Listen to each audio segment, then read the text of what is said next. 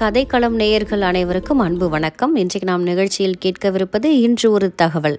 வாங்க இப்போ நிகழ்ச்சிக்குள்ளே போகலாம். இந்த இன்று ஒரு தகவலை வழங்கிய திரு தென்கட்சி கோ சுவாமிநாதன் அவர்களுக்கும் இதை தொகுத்து வழங்கிய தமிழ்நேசன் அவர்களுக்கும் எங்களுடைய மனமார்ந்த நன்றிகளை சொல்லிக்கொண்டு இந்த கதையை ஆரம்பிக்கிறேன். புகைப்பழக்கம்.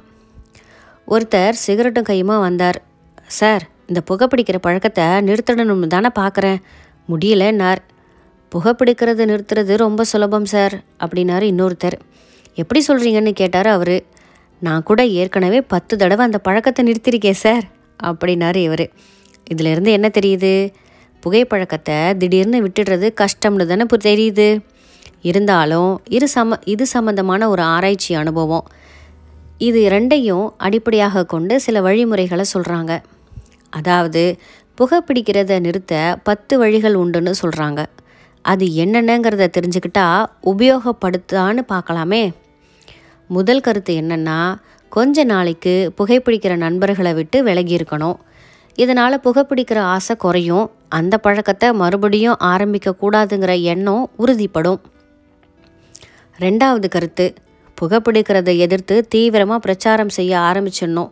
அது அடுத்தவங்களுக்கும் பயன்படும் உங்களுக்கும் உபயோகப்படும். உங்கள் உள்ளுணர்வை அது தூண்டும் உங்களை உறுதி கொள்ள வைக்கும். மூன்றாவது கருத்து தினமும் ரெண்டு தடவை குளிக்கணும். எப்படி தெரியுமா?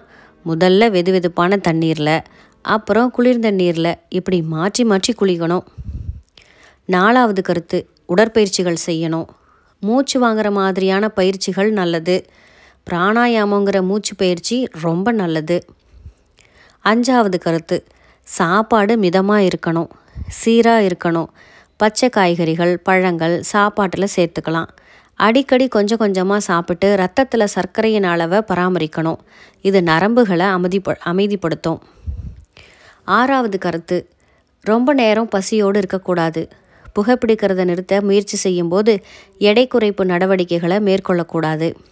ஏழாவது கருத்து காஃபி தேநீர் மதுபானம் அப்புறம் போதைப் பொருள்கள் கலந்த உணவுகள் இதெல்லாம் வேண்டாம். புகைப்பிடிக்கிறத அதெல்லாம் ஊக்கப்படுத்தும். கடுகு மிளகு அப்புறம் காரமான பொருள்களை தவிர்க்கணும். உப்பு அளவை குறைக்கணும். தினமும் பத்து குவளை தண்ணீராவது குடிக்கணும். வெறும் நீர் புகைப்பிடிக்கிற ஆவலை தணிக்கும்.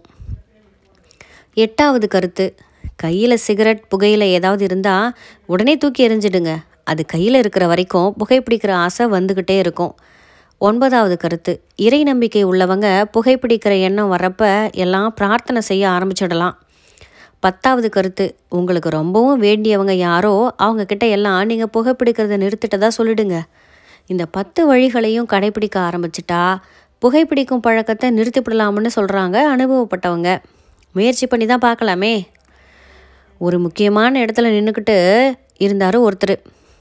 அங்கே வந்த இன்னொருத்தர் ஏன் சார் இந்த இடத்துல சிகரெட் பிடிக்கலாமா? அப்படின்னு அனுமதி கேட்டார். இந்த இடத்துல சிகரெட் பிடிக்கக்கூடாதுங்கன்னாரு இன்னொருத்தர். நீங்கள் இப்படி சொல்கிறீங்க ஆனால் இந்த இடத்துல கீழே நிறைய சிகரெட் துண்டுகள் கிடக்கே அவங்கெல்லாம் யாருன்னாரு அவர். அவங்கெல்லாம் உங்கள் மாதிரி என்கிட்ட அனுமதி கேட்காதவங்க அப்படின்னாரு இவர். என்ன நேயர்களே இதில் எது சரி எது தப்பு? சரி மீண்டும் மற்றொரு நிகழ்ச்சியில் சந்திப்போம். அதுவரை உங்களிடமிருந்து விடைபெறுவது காயத்ரி இளையராஜா. நன்றி வணக்கம் வாழ்க வளமுடன்.